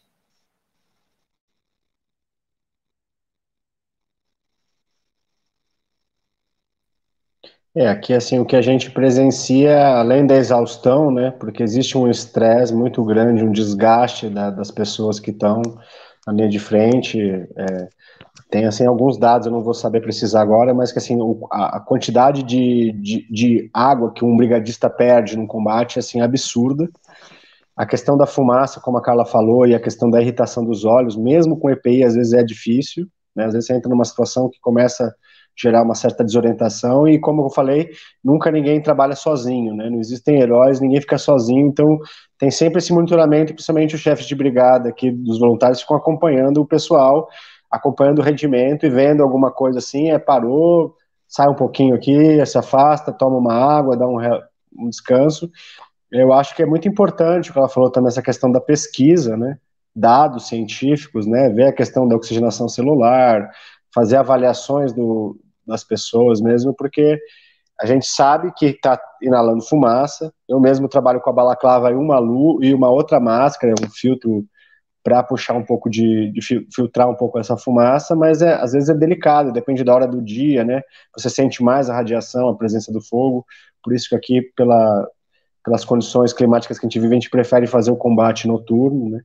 Que é, é menos sacrificante, fica um pouco mais confortável para atuar, mas é perceptível, assim, graças a Deus essa temporada não teve nenhum acidente grave, nada assim que onere, nem entre os brigadistas é, é, contratados e os voluntários. Então, assim, ficamos bem felizes, mas acho que é muito importante ter esse tipo de avaliação, né? Que pudesse os órgãos, alguns responsáveis ou até equipes ah, do terceiro setor pudessem criar esse tipo de parâmetro, começar a estabelecer essas, essas análises, né? Até mesmo a longo prazo, né? Para ver se existe uma sequela, talvez, uma coisa assim. Por aí tem tido registros de acidente, Roger, de problemas de saúde que foram agravados por, por conta do, do trabalho? Então, aqui é, eu não sei nenhum, não, atualmente assim, não sei ninguém né, que esteja sofrendo com isso, mas é claro que é, é um fato, né? Você trabalhar como brigadista ou na linha de frente né, no combate de fogo, dos incêndios, é, é, com certeza futuramente né, a saúde vai ser afetada, né? porque o, fator né, dos gases né, que são emitidos ali, a fumaça, quando você está ali na fumaça, é impossível você filtrar 100%, mesmo que você esteja uma boa máscara, né, ou use até dois filtros, né, como o Alito falou que usa, a gente nunca consegue filtrar 100%. Então, né, futuramente, sim, todos que trabalham com certeza vão sentir né, alguma sequela né, em prol disso aí. E aqui no Brasil, eu acredito que ainda mais, né, porque como os incêndios aqui são mais a menos, mais a menos do que no, por exemplo, na Austrália ou em outros países, Né? Aqui a gente trabalha mais com combate direto. Né? Nesses outros países é mais o combate indireto, pela intensidade do fogo, eles não conseguem encostar, faz o combate indireto. Aqui, você mais ameno, a gente faz o combate direto, né? as chamas, né? com abafador, com supradores, que são essas máquinas que vocês estão vendo ali atrás, né? costais, então é muito mais quente, a gente fica muito mais em contato mesmo com o fogo. Então, é, a questão da saúde realmente precisa de muitos estudos aí né, para estar tá, é, preparando né, as pessoas que trabalham nessa área para poder se precaver melhor com a saúde. A questão da fumaça, inclusive, né, os prejuízos que ela pode, que, ela, que a fumaça pode trazer, talvez, né, eles talvez seja também é, prejudicial para a fauna. Eu vi, inclusive, uma imagem né, de aves, as aves é, conseguem escapar do fogo, porque elas têm o deslocamento por voo, mas alguns problemas, fumaça em si, pode ter levado à morte dessas aves em outros locais, para onde elas se deslocaram, mas que por consequência dessa inalação do, da, do ar com a fumaça, pode ter levado a, até a morte delas. O, Carla, tem algum tipo de, de registro de ocorrências nesse sentido, de animais que não tinham é, feridas ou problemas no, físicos, mas que tinham alguns sinais de, de, de consequências do fogo e que acabaram morrendo posteriormente? Aqui, na, tanto aqui no Pantanal Norte, no Pantanal Sul, no norte, é, centenas de animais encontrados mortos sem nenhuma queimadura, né, visível, né, externa, mas com, é, com certeza atingidos aí tanto pela fumaça, né, locais que o fogo cercou esses animais, quanto pelo calor aí do fogo, né, desde anta, a mãe com o filhote, antas foram muitas, né, que vieram a óbito dessa forma, muitas aves, né, principalmente as aves aí de voos mais curtos, como é, jacutingas, tucanos, passeriformes, né, aves que não conseguem é, ganhar grandes alturas e nem voar assim, né, quilômetros de distância. É, são assim dezenas de espécies que já foram catalogadas, né, que morreram com nenhuma queimadura externa, mas vítimas indiretas do fogo, né, que a gente fala são as vítimas indiretas. Então não morre queimada, mas morre ou pela é, inalação de fumaça ou pelo calor. Primatas também foram é, encontrados, cervídeos, centenas mesmo de espécies que vieram é, a óbito sem nenhuma queimadura externa. E, e, quanto à saúde mental, o pessoal tem comentado aqui no chat que tem se preocupado né, com a questão dos brigadistas nesse momento, com os fatores psicológicos e socioafetivos, né? E existe assim observações de que alguns brigadistas sofrem uma pequena depressão após o trabalho com fogo. Isso também é observado na realidade de vocês? Casos de depressão ou de alguma tristeza ou algum problema afetivo, psicológico depois do trabalho? Com certeza. Com certeza. É, principalmente em relação a em relação a acidentes mesmo, né? Porque muitos brigadistas, quando sofrem acidentes, né, veem que realmente não tem apoio nenhum do governo, né, de, da sociedade, de, de nenhum lado praticamente, né? Pelo menos aqui é assim. A maioria das brigadas voluntárias não tem apoio nenhum. A pessoa quando vai combater um incêndio, né, deixa sua família em casa, né, deixa seu trabalho, deixa tudo para ir combater por amor à natureza. E muitas vezes, se você vier a sofrer um acidente, eu conheço pessoas né, que já sofreram um acidente, e aí, é, na recuperação desse acidente, aí chegou a ficar com depressão. Né?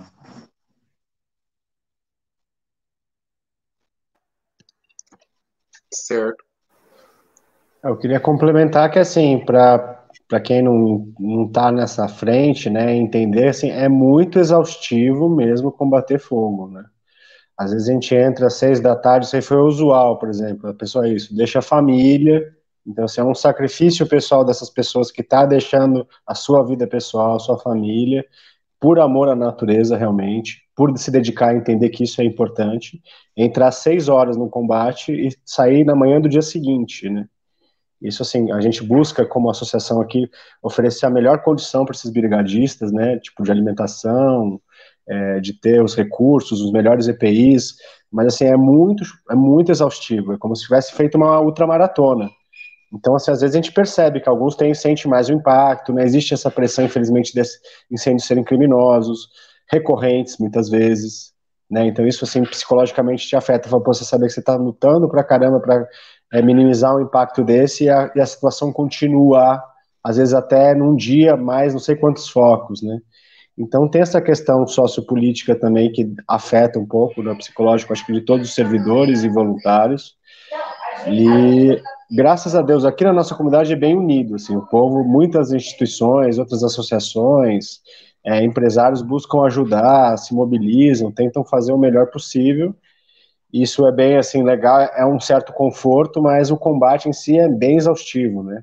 Existir, assim, principalmente de dia, é, é muito, muito estressante e desgastante para o corpo.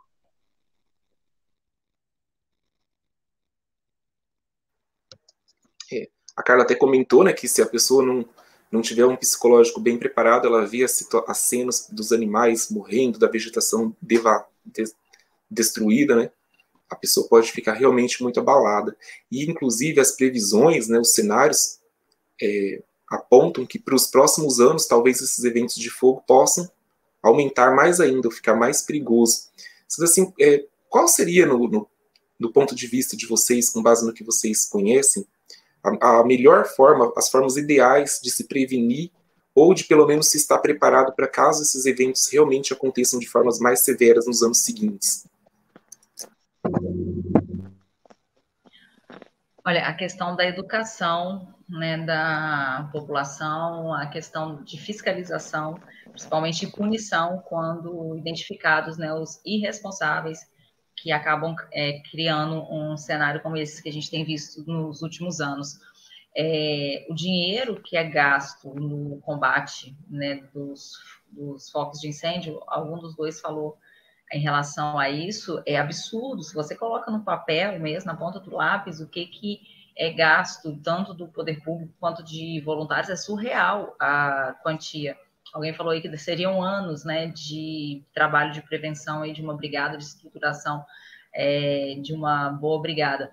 Então, acho que a questão da educação da população, fiscalização e punição de quando a pessoa, né, o irresponsável for é, identificado, porque infelizmente o cenário tende realmente é, a piorar. E a gente também tem que repensar um pouco a nossa forma de vida, né? A gente não tem outro planeta para ir quando esse aqui acabar todos os, esgotarem, né, todos os recursos desse aqui. Então a gente também tem que fazer o nosso papel de cidadão e repensar aí um pouquinho a nossa forma de vida, né? O que, que a gente está fazendo que está contribuindo também para agravar mais esse cenário.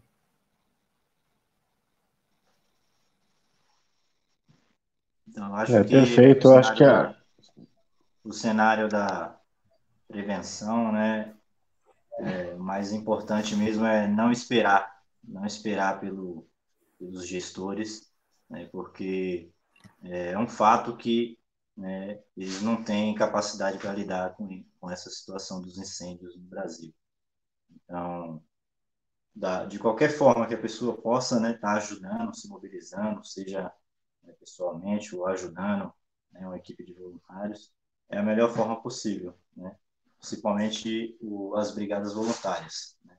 Apoiar o máximo possível as brigadas voluntárias, porque elas são apoiadas né, principalmente pelo, pelas pessoas, né?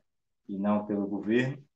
E nós combatemos mesmo o incêndio por amor, né?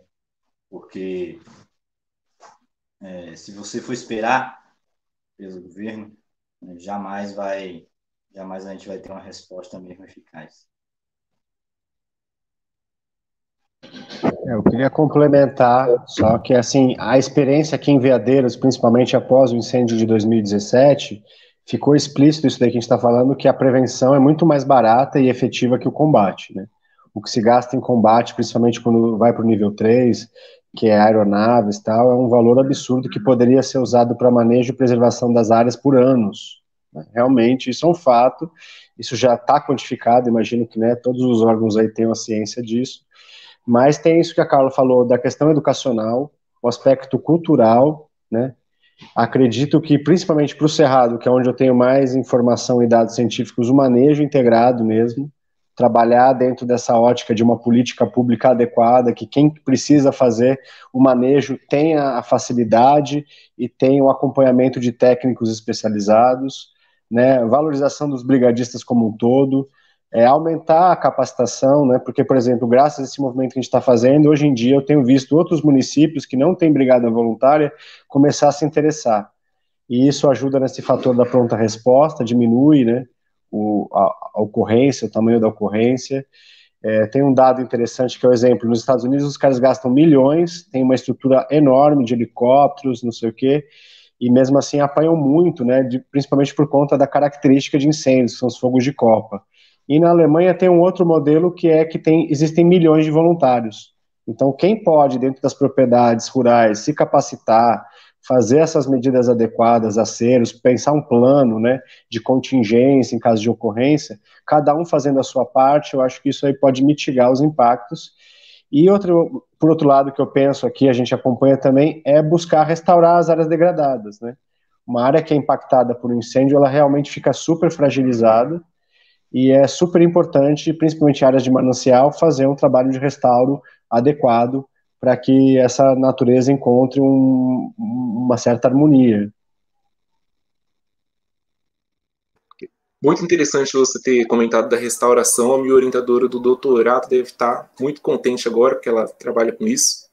É, até acho que a gente poderia ir um pouquinho para esse lado. No Pantanal, por exemplo, a regeneração ocorre de uma forma mais natural. Né? A técnica mais utilizada não, não é o, o plantio de, de, mudas de árvores, como em outras regiões. É, no Cerrado, em áreas que possam ter sofrido esse, esses impactos talvez negativos do fogo, como têm sido as, os projetos de restauração dessas áreas? Você tem conhecimento um pouquinho sobre isso? Olha, aqui em Veadeiros tem um trabalho muito bonito que é dos coletores de semente. É um trabalho em parceria com o Parque Nacional, que é, é apoiado por diversas famílias, são cerca de 80 famílias que coletam. É, inclusive, para quem estiver vendo, procure a Associação Cerrado de Pé, que é a Associação de Coletores de Sementes, que eles trabalham através da restauração direta, que basicamente é uma técnica que eles aprenderam dos índios, observando dos índios, é uma, um coquetel de, de sementes e a pulverização maciça, é, massiva dessa, dessas sementes é, tem sido provado que é bem mais efetivo que o plantio de mudas, né? Funciona através de um princípio natural, que é isso, é a biodiversidade, a seleção natural delas mesmas, e existem já vários estudos científicos, tal, e agora nesse período de chuva a gente quer realmente fortalecer com esse pessoal da Associação Cerrado de Pé e algumas outras instituições para fazer um trabalho de restauro, principalmente em áreas degradadas e focados ainda mais nas veredas, né? Existe, inclusive, a, a restauração do, do, regime de fogo. Né? Algumas áreas que, por exemplo, sofreram a política de fogo zero, o pessoal, então, faz um estudo do histórico de, de fogo e reintroduz o fogo para tentar restaurar esse regime histórico. Vocês já conheceram também alguma área, algum trabalho que, que usou essa estratégia? De, de restauração do fogo, caso ele tenha sido suprimido? Não. Não, só assim, por, não, não diretamente, mas tem alguns vídeos, algumas publicações que têm mostrado, principalmente nas, em algumas áreas indígenas, né, esse, essa recuperação dessa tecnologia, e pelo que é descrito, né, os depoimentos tem mostrado sim bem favorecido, né, porque realmente essas comunidades que faziam um manejo adequado, de uma, de uma maneira mais segura, hoje em dia estão tendo resultados, isso tem é, é minimizado os impactos de grandes incêndios. Certo, certo. Aqui, inclusive, no, no, no Pantanal, teve uma teoria que as pessoas entendem, né, o entendimento é uma coisa complexa, e aí cada um acabou entendendo uma coisa depois que essa teoria foi lançada, que é a teoria do, do boi bombeiro. Vocês, eu não sei se vocês já ouviram falar sobre isso, mas para quem atua, né, a, a Carla voltando, eu vou até retornar essa pergunta, porque talvez ela tenha conhecimento, que é sobre a teoria do boi bombeiro, que o pessoal tem comentado aqui no, o Pantanal qual é o entendimento que tem chegado a respeito dessa teoria? E o que ela realmente queria dizer? O, a presença do gado, ela pode contribuir para a diminuição de focos de, de incêndio, de fogo? Ou isso é, é mito? Vocês poderiam comentar um pouquinho sobre isso, se vocês tiverem ouvido falar? Olha, pelo menos aqui na Chapada é completamente mito, né? Porque antes da criação do parque, todas as áreas de campos gerais eram utilizadas para a soltura de gado. Né? E o fogo ele era né, ferramenta essencial para isso acontecer, porque o, o, pasto não era plantado, né, um pasto natural, e o gado ele só comia o capim novo, né, o capim recém-rebrotado. Então, o fogo era utilizado como uma ferramenta para fazer a, re, a rebrota do pasto. Né? Depois da criação do parque foi tirado o gado, né? mas ainda hoje tem uh, algumas pessoas que soltam ainda alguns animais, né? Porque o parque é muito grande, não tem monitoramento, e acabam colocando fogo para fazer a rebrota do pasto para o gado.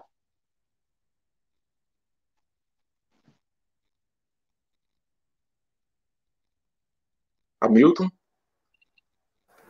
Olha, eu não tenho informação para argumentar sobre isso. Acho que você, Bruno, que é acadêmico, pesquisador, e a Carla, que tem essa formação mais ligada com os animais, poderia dar um, algum dado mais concreto. Eu, não, tive muito ocupado também aqui nos combates, nem peguei meio por alto essa imagem, então nem posso entrar, assim, me sinto é, adequado assim, para ter uma, uma opinião formada. Certo, certo. Você tem, você tem ouvido falar sobre isso, Carla? É, eu acho que o Roger já deu uma explanação boa e o que a gente vê que realmente não é, condiz né, com a realidade. Se for meio como se fosse uma lenda urbana, digamos assim, né? E sem é, efetividade mesmo. Aqui na região onde a gente está, ao longo da Transpantaneira, a gente, a presença de gado é gigantesca e o resultado está aí, né? É, o que eu tenho entendido, por exemplo, é que as, as áreas destinadas à pecuária no, no Pantanal, por exemplo, têm sido as áreas que inundam menos, em detrimento, das, em detrimento de áreas que inundam mais. Nessas áreas que inundam mais, a vegetação cresce por uma questão de melhores condições hídricas, questão de disponibilidade de nutrientes, então a biomassa acaba se desenvolvendo mais nessas regiões mais inundáveis. Aí quando acontece um evento como desse ano, em que teve uma seca mais pronunciada, essas áreas elas acabam sofrendo mais com a consequência do fogo.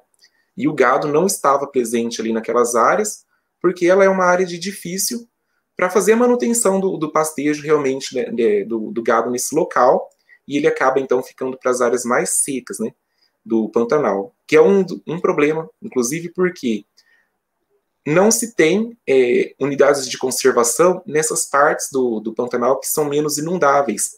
E aí você acaba é, não tendo, por exemplo, esses refúgios, justamente se ali são os locais que queimam menos, eles poderiam ser, servir para unidades de conservação, para que se tivesse esses refúgios, por exemplo.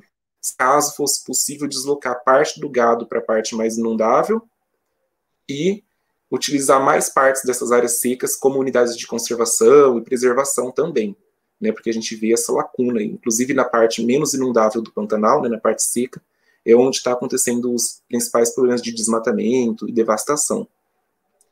Vocês têm, por exemplo, assim, uma, uma um, um dado ou talvez alguma afirmação a respeito de que unidades de conservação têm sido eficientes no manejo do fogo em relação, por exemplo, a observação de números de, de registros de foco em relação a áreas privadas ou coisa do tipo?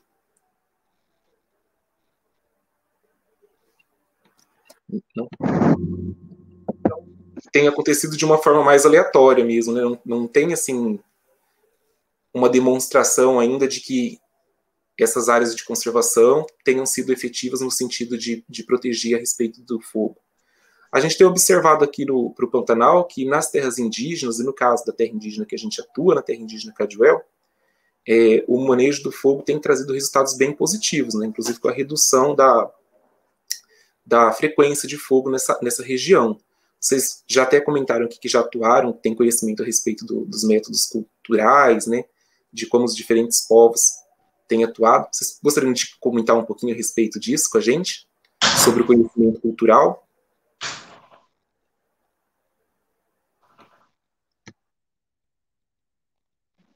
Desculpa, eu não entendi. Aspectos culturais dessa questão do manejo, você falou? O manejo. Qual, qual é a experiência de é, se trabalhar? Eu não tenho experiência direta com o manejo, né? O manejo integrado do fogo é uma experiência nova no território, né? Se for ver assim, é, é bem recente. Mas pesquisando, escutando pesquisadores, a gente escuta que antigos tinham assim uma leitura do clima, então sabiam que ah, quando o dia está orvalhado assim, com tal característica, é um dia bom para uma queima. Existem até aspectos culturais que eu ouvi aqui de antigos moradores que eles era uma espécie de uma, uma, até uma certa mística de, de conduzir o fogo, né? De assoviar, de meio que com, comandava o fogo, controlava através de um aspecto até de, de fé mesmo, devoção entre os calungas aqui é um aspecto que a gente escuta falar. Não tenho notícias de pessoas ainda que estejam vivas que fazem esse tipo de trabalho, mas escutei de amigos mais antigos que existiam sim pessoas que tinham essa habilidade de fazer manejo e que tinham uma leitura do ambiente muito precisa, né? Sabiam qual era a época certa, o dia certo de fazer a condução desse fogo, né, para as necessidades deles. Esse é o registro que eu tenho mais próximo, assim, dentro da experiência que eu vivo.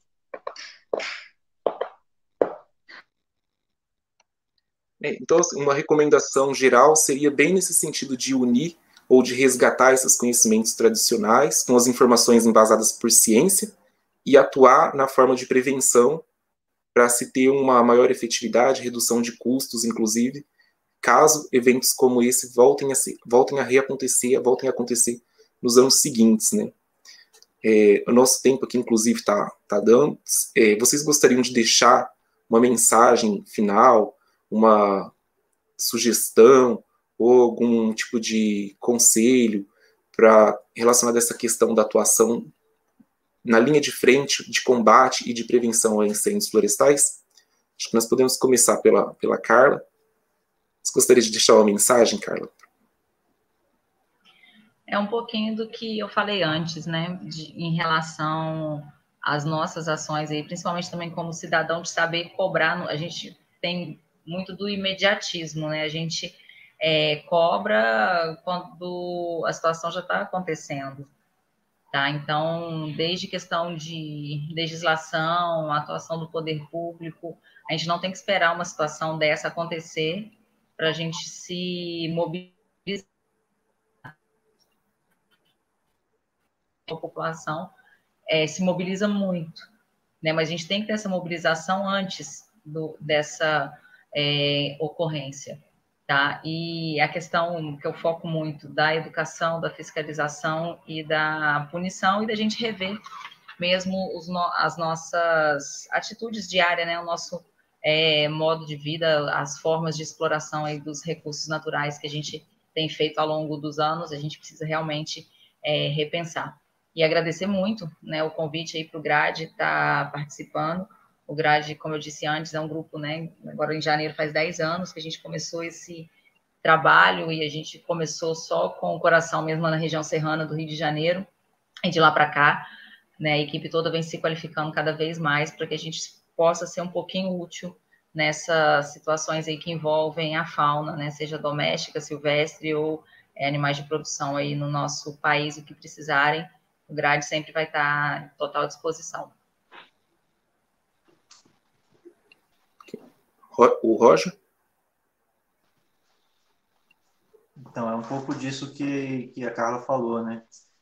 É, cobrar, né? Cobrar mesmo, mas também não esperar, né? Porque se a gente ficar só esperando, as coisas também não acontecem, né? Então, é, educação ambiental muito importante, né?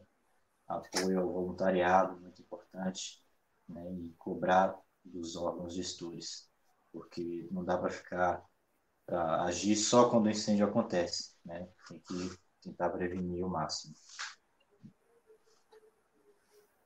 Excelente, Hamilton. É, complementando a fala dos nossos queridos aí, que estou totalmente de acordo, a educação, a consciência, né? Acho que a responsabilidade de produtores rurais também, principalmente, de se adequarem e cobrarem uma política pública adequada para que as queimas e o manejo do fogo seja feito de forma segura e adequada, é, valorizar os brigadistas, né, criar realmente condições para os brigadistas contratados atuarem de uma maneira segura e né, ter uma contrapartida adequada. É, a incêndios florestais não tem nada de romantismo, né, é uma tarefa muito árdua, muito dura, e a prevenção realmente é mais eficiente, mais barata, é, que possam existir realmente mecanismos, né, a partir desse diálogo, também não cobrar, assim, só apontar o dedo, mas trazer uma, uma discussão pública mesmo, abrir a, a, a comunidade, o Brasil em geral, para entender essa questão dos incêndios florestais e como a gente pode criar mecanismos que sejam integrativos, né, que facilitem o diálogo entre as partes, que entre num, num alinhamento em prol do bem comum, né? E realmente valorizar as brigadas, valorizar as brigadas locais, valorizar os servidores que estão aí se oferecendo nessas tarefas tão árduas. Eu acho que é por aí. Muito obrigado pela participação. Antes de me despedir de vocês, como mensagem final, também gostaria de colocar aqui uma imagem rapidinho só para a gente poder só para poder comentar com o pessoal que está assistindo a situação do Pantanal e aí já deixo a minha mensagem final também. Então esse é o mapa do Pantanal é, que vem sendo monitorado pelo LASA, que é o Laboratório de Imagens de Satélites Ambientais da Universidade Federal do Rio de Janeiro. E toda essa porção em roxo, lilás aí que está mostrando no mapa é a área já queimada do bioma, né, que corresponde a 27% do total do Pantanal que inclusive foi noticiado, né, foi capa até do jornal New York Times, porque um quarto né, do, do bioma já sofreu com as consequências do fogo. Então, como bem foi falado aqui hoje, a gente vai precisar pensar em estratégias de prevenção, de estratégias de melhoria no manejo, valorização do pessoal que vem trabalhando nesse sentido e também restauração ambiental. É, porque o Pantanal vem sofrendo, inclusive, uma perda, né, uma transformação no seu uso de solo e uma perda de vegetação nativa, e altera aí toda a questão da flamabilidade, toda a questão a qual esse, esse bioma está historicamente ligado, né? Que é a próxima imagem pode passar também, é, que mostra aqui, por exemplo, é um estudo do nosso laboratório, né? Em que o pessoal investigou, né, fez uma simulação de cenário, como ficaria o, o Pantanal se a vegetação continuar sendo perdida da forma que está em 2050. E aqui ele mostra, por exemplo, essa parte mais amarela, né, mais intensamente amarela, mais intensamente vermelha, são as áreas em que tem a maior probabilidade de perda de, de vegetação em relação à parte que está mais em verde. Então a gente pode ver que o Pantanal ele vem sofrendo com a perda de vegetação, principalmente em suas bordas, né, na área que faz encontro com outros biomas, como o Cerrado e como a Amazônia, que seriam locais estratégicos, então, para que se colocasse ali áreas para restauração ecológica, por exemplo, e que houvesse nesse, nesses locais algumas unidades de conservação para poder proteger, inclusive, o entorno do Pantanal, que é a área onde a, a fauna provavelmente os utilizaria como refúgio em eventos mais severos de incêndio, é, locais também que serviriam de reservatórios para a reintrodução da fauna, para a regeneração após o fogo, já que o fogo ocorre realmente nessa parte mais, mais úmida, que na figura do lado esquerdo está de azul ali, que é a maior frequência de inundação.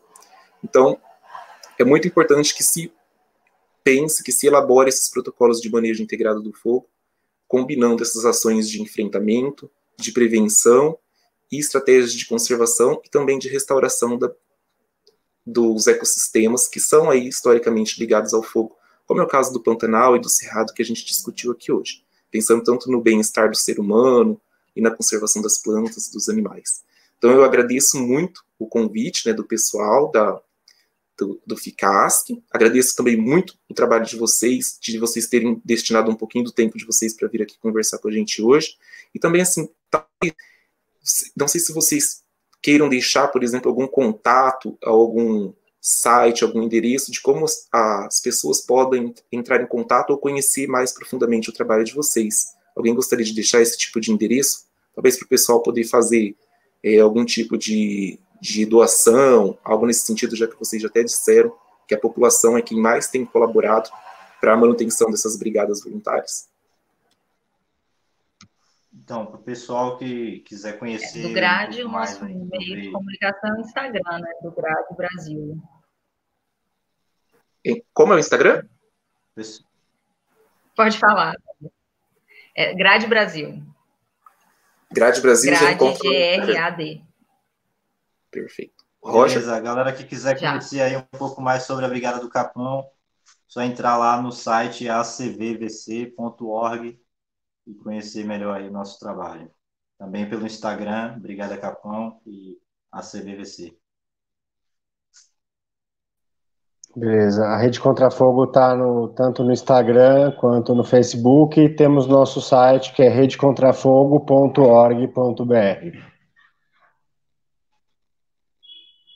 Deixar aqui também divulgado o nosso laboratório lá da UFMS, que é o Lei Underline UFMS, no Instagram. Podem procurar lá no Instagram que vocês vão conseguir também ter endereços para o site e para outras mídias, né? Pessoal, tá todo mundo agradecendo aqui a fala de vocês hoje, foi muito esclarecedora. A gente agradece o Hamilton, a Carla, o Roger e o pessoal da Ficasc que organizou e possibilitou aqui esse nosso encontro de hoje. Então, só agradecimentos, tá? Muito obrigado e bom trabalho para vocês. E vamos ter fé que para o ano que vem as coisas vão ser bem melhores e que a gente vai realizar um bom trabalho. Abraços e boa noite, viu? Boa noite a todo mundo que assistiu. Muito obrigado por terem contribuído com, com essa apresentação.